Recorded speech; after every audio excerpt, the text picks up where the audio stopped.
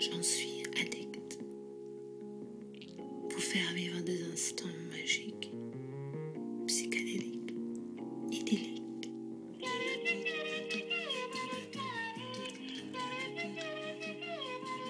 Musique au son cubique, mélodique, très chic.